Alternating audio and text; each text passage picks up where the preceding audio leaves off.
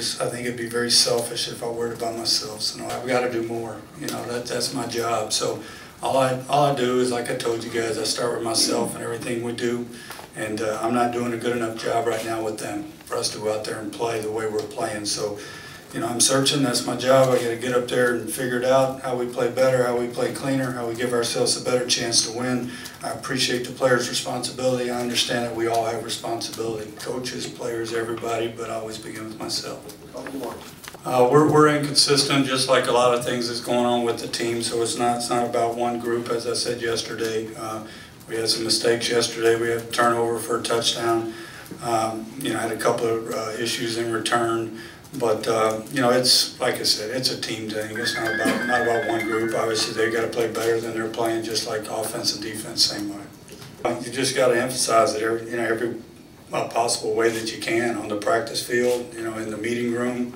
Um, it's that's about all you can do. You know, I mean, just uh, paying as much attention to it as you possibly can. And actually, that team we played just had more penalties than us, but it's hard to believe. It didn't feel that way, you know, for us as a team. It's, it's confusing, you know, because you, got the number one defense in football, and are we, sixth or seventh or eighth, and offensively moving the football. So, you know, you got, got a lot of good things going on, but but where, where we are is we're next to last in the league in turnovers. You know, I think there's only one team behind us, if I'm right and uh, turnovers get you beat in this league, and they're getting us beat on a consistent basis. And they're they're also getting us in bad position in football games, not just getting you beat, but getting us in really bad position. You know, you, you look up yesterday statistically at halftime, and you would think there's no way you're down 17 to three, but but you are. You know, so. Uh, or whatever it was, 17-6, I can't remember, but you're down and you're back in the same position that you've been in, so that's a tough thing. No, if I could put my finger on it and uh, make it go away, I would. You know, I just only know how to just work through it and continue to do everything you can to alleviate it, get rid of it. But yeah, we're trying to evaluate his health right now. So said, what I said was I think it'll be an end of the week decision of whether or not he's available or not. I don't know. We'll have to see.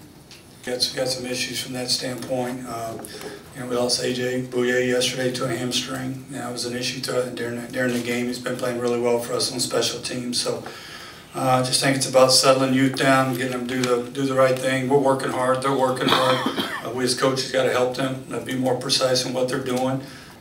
Will I share my conversations with Bob with you? Right. No, I won't do that. Yeah, I do talk to him quite a bit, though. Been a part of a couple teams uh, that have been through something similar like this, and uh, you know, you just keep you keep pushing. You look for that one play that not you know gets you out of it, or that you know that one big game, that one big win that gets you out of it. And uh, as I, have said continuously, and I'll say again today, our team our team is playing hard. Uh, we're just not playing very efficient in a lot of areas.